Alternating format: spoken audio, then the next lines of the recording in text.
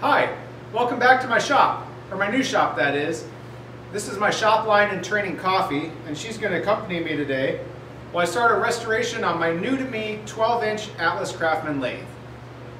What do you think, coffee? So I picked up this lathe off Facebook Marketplace for a really good deal, and overall it's in okay condition for what it is. But it does have some minor problems that we're going to need to fix, and we're also going to give it a full cosmetic update just to clean it up and make sure that it can provide many more years of good service. Let's get started. I brought you in a little closer here and let's start talking about the good. First thing, the ways look in pretty good condition. Now on this lathe, the ways were just ground in at the factory and they were never scraped because again, this is a home gamer type machine. It's not a uh, industrial lathe. So for what it was when these were made, Atlas Craftsman decided that just grinding in the ways was good enough. And they show a little wear, but nothing too much, nothing you can cut your fingernail on. I haven't run an indicator across it, but for what I'm going to be doing with this lathe, it should be just fine. Other thing that's good, all our hand wheels and cranks are fully functional. The tailstock is in good shape. Everything works really smoothly and all the gears are in good condition. Nothing has chipped teeth uh, so that works great. The quick change gearbox works fine. And I'll turn on the lathe in just a minute to show you it operating. Um, the motor works great. It's the original motor, uh, counter shaft, belt tension adjustment. Everything works as it should. Uh, but now let's get into some of the things we're going to need to fix as we go along with this restoration and revival. So here on the spindle is going to be our number one problem for getting this lathe back up to normal running condition. In the back, you can see the counter shaft that is powered by the motor, and then you have your pulleys to change your speeds that go up here to the spindle. This gear here is what is supposed to be attached to the pulleys and then will engage the back gear, which is down below it when you engage the back gear. Unfortunately, that gear has broken off of the pulleys, and these gears are made of Zamak. It's a zinc uh, aluminum, magnesium, and some other stuff, oh, copper uh, alloy. And if you maintain them well, they hold up pretty well, but they can be fragile uh, compared to other like steel gears. And as you can see, it's snapped off because it's not supposed to spin freely like this. I was able to source a pulley and gear assembly off eBay, and I have that in hand. So what we'll do is part of the restoration, we're going to remove the spindle, take this old pulley gear assembly off and replace it with my replacement parts. And that will make it so right now we can only use the lathe in direct drive, but once we replace this part, we'll be able to run it in back gear, which will be good for operations where we need to run the lathe very slowly. The next thing that I plan on fixing during the restoration isn't really a requirement for the projects that I'm going to be doing. The lathe will work just fine as it is, but the lead screw here for threading operations is pretty severely worn in the middle. Over here on the left, you can see it's a good Acme thread. And up here by the headstock, this isn't engaged very frequently, so this is the original factory threading. As you get down here to the middle where the carriage traveled a lot, it's worn down and you see it goes from kind of a square thread form to it's almost looks like a thread form that you would find on a commercial bolt. It's a very sharp like triangular tooth. And then if I move the carriage, actually it won't be in frame, but down at the other end, down here where it wasn't used very much, it's the good Acme thread. This is a three quarter inch uh, part, and so my plan is I've ordered some three quarter inch Acme rod and turning it down to make a replacement lead screw because you can find used lead screws, but they kind of all had the same problem that I found. They're all worn out. Uh, so the only way to get a functional replacement is to make one. And my plan is to use Acme rod for that. If you have any better suggestions, let me know. But again, I'm going to have to use this lathe in its current condition to turn down the new lead screw. But again, we're only going to be turning it down for where it engages the quick change gearbox. So it should be a pretty simple operation. Another thing we're going to do is this is the half nut that engages the lead screw that we were just talking about, or the half nut lever that closes the half nuts back behind the apron. If the lead screw is this worn, I guarantee you the half nuts back behind it are worn too. And the half nuts are supposed to be changed out ever so often because ideally they should wear out instead of the lead screw. But it's apparent that this lead screw was never oiled or greased properly and that could have led to the wear. So we'll replace the half nuts and then it's possible that we might even make a new lead screw for the cross slide and we'll replace the nut that that engages uh, because the threads are have the same issue on the cross slide. They're kind of worn out. And then on the compound, the threads look good, but again, those cross, uh, the nut that it engages are meant to be replaced, so I do have a replacement nut for that. So those are the major functional things we need to fix. Again, we got to fix the pulley assembly with the back gear, or the gear that drives the back gear. We're going to change out the lead screw for the carriage, the cross slide, the half nuts nut, and the nut on the compound. And then also we're going to build a new bench. This is a wooden bench with steel legs, and it's just not sturdy enough for this lathe. It flexes, and for a lathe to operate at its maximum capabilities, you really need to make sure it's leveled properly. So we're going to weld a steel bench that we can bolt down to the floor, and then we can level the lathe properly on that and make sure the lathe is bolted down. As I receive this lathe, it's currently only bolted down in two spots. I believe one there and then one back here. It's not even bolted down in the other two positions. So again, you could turn light materials on this, but you're not going to be able to get any sort of precision um, or uh, turn any harder metals. Again, this is a home gamer lathe, I understand that. But again, I want it to operate at its best of its abilities. So we're going to disassemble this thing, every nut and bolt, and spindle and everything and clean it up and get it rolling. I forgot to mention we are going to make one more modification to this lathe.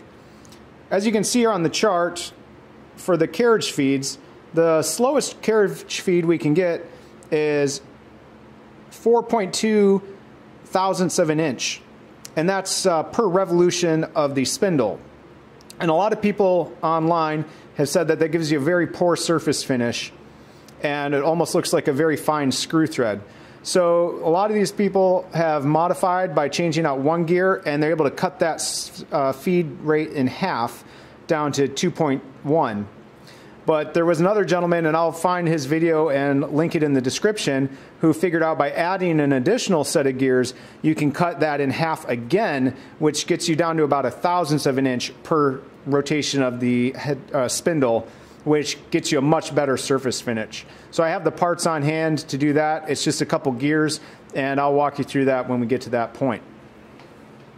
Sorry about the focus.